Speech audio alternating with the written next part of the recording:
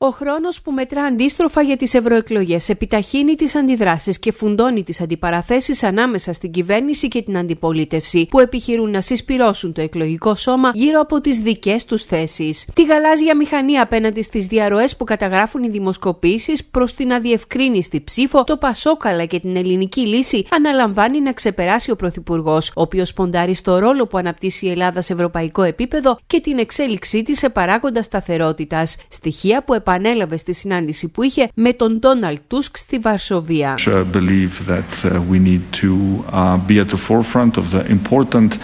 Um, uh, initiatives uh, that Europe needs to undertake uh, in the next uh, electoral cycle, whether uh, it is related to defense and security, whether it is related to competitiveness, to job um, creation, whether it is related to agriculture. Στην Αθήνα, τα πειρά που ανταλλάσσουν κυβέρνηση και αντιπολίτευση επικεντρώνονται στο πόθεν έσχες του Στέφανου Κασελάκη και την άρνησή του να απαντήσει σε ερώτηση για την οικονομική του κατάσταση και τις εταιρείες που διατηρεί στις Ηνωμένες Πολιτείες. Τηρήσω τον νόμο ό,τι και να κάνουμε και ό,τι και να είναι. Πρόστιμος σημαίνει παραβίαση του νόμου. Δεν θεωρώ ότι υπάρχει.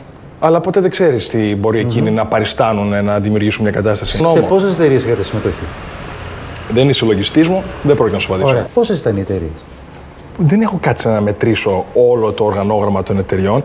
Πείτε μου ειλικρινά τι θα γινόταν αν αυτή την απάντηση για οποιοδήποτε ζήτημα διαφάνειας την είχε δώσει οποιοδήποτε άλλο στέλεχος του ε, πολιτικού σκηνικού. Όσο οι δημοσκοπήσεις καταγράφουν ενισχυόμενη τάση για ψήφο διαμαρτυρίας και μετακινήσεις ψηφοφόρων, το πολιτικό σκηνικό περιπλέκεται, με ΣΥΡΙΖΑ και ΠΑΣΟΚ να στοχεύουν με κάθε μέσο στους απογοητευμένους από τους μετεκλογικούς χειρισμούς της κυβέρνησης. Ο Στέφανος Κασελάκης, αφού πρώτα έθεσε ως προπόθεση τη δεύτερη θέση για το κόμμα του, τώρα δεν αποκλείει ακόμη και τη διεκδίκηση της πρωτιάς, εξαπολύοντας πειρά στο ΠΑΣΟΚ η καθαρότητά μας, οι συγκεκριμένες προτάσεις μας, μαζί όντως με τη τιμωρητική ψήφο προς τη Νέα Δημοκρατία για τις τεράστιες κολοτούμπες που έχει κάνει από τις τελευταίες εκλογές και για την κακή διαχειριστική της ικανότητα, ό,τι μπορεί πολύ εύλογα να φέρει εμάς το πρώτο κόμμα. Ο Νίκος Ανδρουλάκης απαντά με ανάλογες βολές, κατηγορώντας τον Στέφανο Κασελάκη για πολιτική lifestyle μακριά από την ουσία και τις ανάγκες του ελληνικού λαού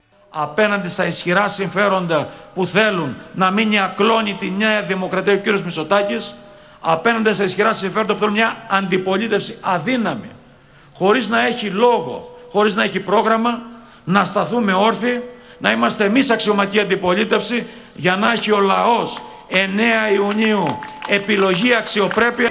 Την Κυριακή παρουσιάζει το Ευρωψηφοδέλτιο του Κουκουέ ο Δημήτρης Κουτσούμπας, ο οποίος ζητά ενίσχυση όλων των κομμουνιστικών κομμάτων στην Ευρώπη. Δύναμη στα κομμουνιστικά κόμματα, που είναι η εγγύηση για την ενίσχυση των λαϊκών αγώνων, για μια Ευρώπη της ευημερίας των λαών